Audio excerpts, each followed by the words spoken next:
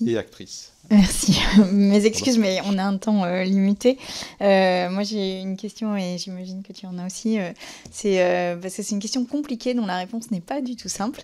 C'est par exemple sur des films tels Les Valseuses ou les films de Benoît Jacot ou de Doyon. comment vous gérez ça dans la diffusion de, sur vos antennes? Je reviens sur ma question qui est cette diffusion de la culture du viol ou, des, ou la mise en valeur de personnes qui, se, qui sont soupçonnées en tous les cas de viol Comment euh, vous agissez là-dessus? Monsieur Balanon. Et, en complément, sur les films euh, sur lesquels, alors excusez-moi d'avoir parlé d'achat, mais enfin c'est des acquisitions, on va appeler ce mot-là comme ça, ce sera peut-être plus juste effectivement, et je connais la coproduction qui c'est important.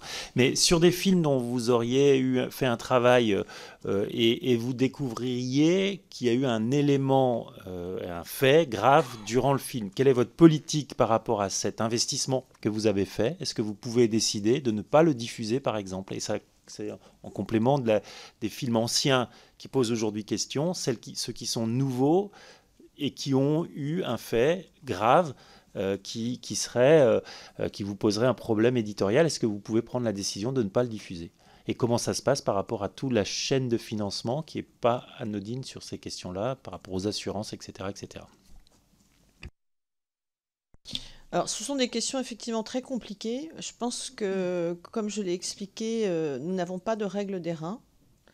Euh, donc, euh, par exemple, nous n'avons aucune règle qui consiste à effacer les films avant une période ou parce que ces films comportent des scènes qui aujourd'hui sont choquantes.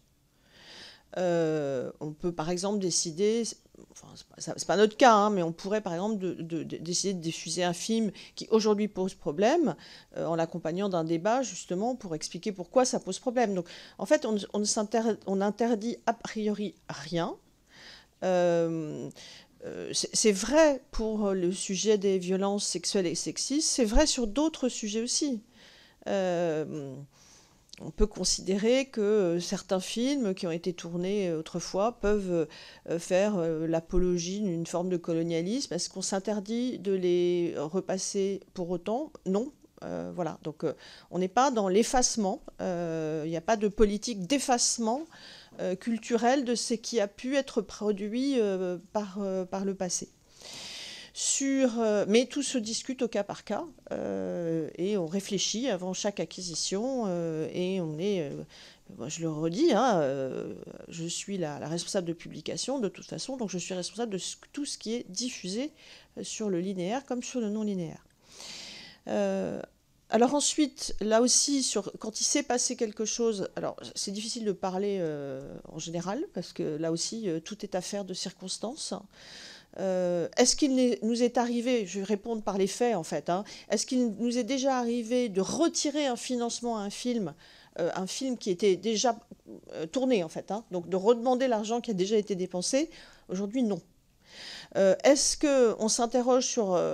Est-ce qu'on a des cas où on va quand, ça sera le moment? Parce que vous savez que nous, on ne peut diffuser des films que deux ans après leur sortie en salle. Hein. Donc en général, on se pose la question au moment, hein, trop longtemps avant. Est-ce qu'on va avoir des interrogations sur certains films qu'on a financés au moment de la diffusion? La réponse est oui. Euh, et donc, est-ce qu'on est, obligé de diffuser? La réponse est non.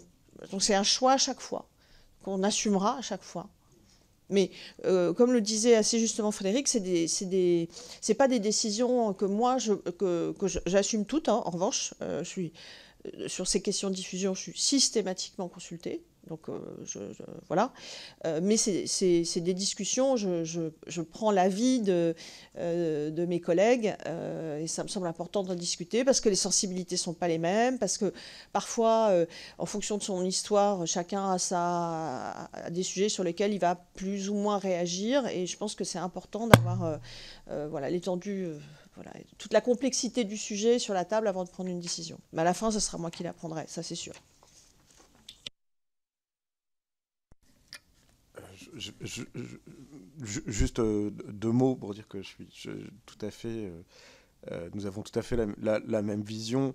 et si, et pour vous dire que si des faits graves nous étaient rapportés, nous ne nous interdisons pas, naturellement, de, ne pas diffuser. C'est-à-dire que nous avons cette liberté éditoriale là, et, c'est très important de l'avoir. Là encore, évidemment, tout est affaire de circonstances, et, sans, entrer, sans, c'est ce que je disais en propos liminaire, si on ne parle pas des détails, si on n'évoque pas exactement ce qui s'est passé, le contexte, c'est très difficile en réalité d'avoir une, idée euh, une, idée à arrêter euh, fixe, une, règle. En revanche, euh, nous prenons la décision, quelle qu'elle soit, en responsabilité.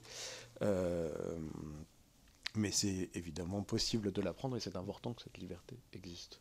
Peut-être quelques mots sur le cinéma, Olivier? Je ne peux que, répéter ce, qui a déjà été dit. C'est exactement euh, la manière dont nous procédons. Il faut savoir qu'avant la, programmation et, donc la diffusion d'un film, il y a quand même un processus assez long de choix, d'acquisition. Et donc l'acquisition, elle passe par euh, le visionnage, l'expertise euh, du film, qui n'est pas individuel, mais qui est collectif. Il y a effectivement plusieurs avis qui peuvent entrer en conflit. Et, à la fin, bah, c'est la direction éditoriale, voire la présidence qui euh, qui, tranche. Mais c'est vrai que nous diffusons euh, plusieurs films par semaine, une dizaine de films par semaine. C'est toute catégorie de films. Ça va du cinéma muet jusqu'à un cinéma très contemporain. Euh, c'est pas seulement des, choix qui sont euh, effectués en fonction de, l'importance du film dans l'histoire du cinéma ou de la manière dont il est appréhendé suivant les, les générations, les, contextes, mais il y a évidemment, on est très attentif à la, au contexte, à l'époque dans laquelle nous, vivons, à la manière dont ces films peuvent être euh, reçus. Et en même temps, il n'y a pas, on ne s'interdit rien en effet, mais euh, on a quand même des critères on choisit des films pas seulement pour des critères esthétiques, cinématographiques ou historiques, mais en fonction euh, des valeurs qu'ils véhiculent, de la représentation des, personnages, de, morale de mise en scène et d'une morale qui correspond aux valeurs de la, chaîne et qu'on souhaite communiquer à nos téléspectatrices et téléspectateurs.